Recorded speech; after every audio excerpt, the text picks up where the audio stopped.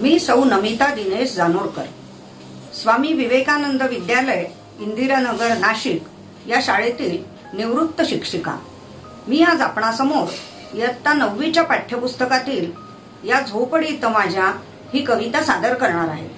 कवितेचे कवी आहेत राष्ट्रसंत श्री तुकडोजी महाराज.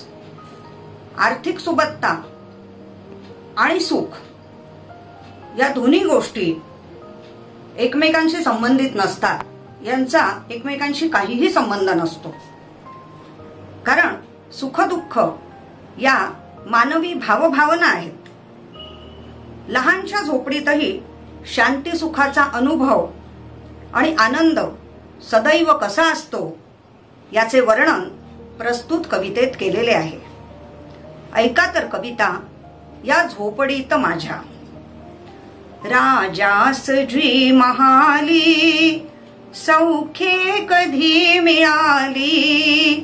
ती सर्व प्राप्त झाली या झोपडीत माझ्या भूमीवरी पडावे ताऱ्यांकडे पहावे प्रभुनाम नित्य गावे या झोपडीत माझ्या पहारे आणि तिजोऱ्या त्यातून होती चोऱ्या दारास नाही दोऱ्या.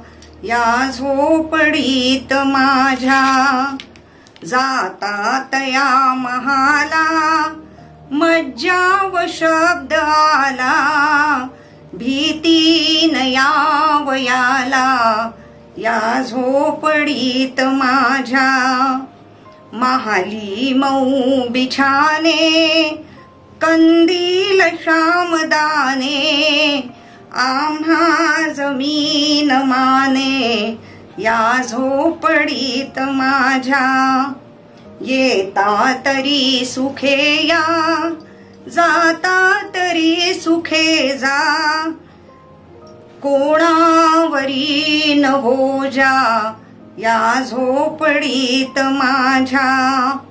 पाहून सौख्य माझे देवेंद्र तो हिलाजे शांती सदा विराजे या झोपडीत माझ्या.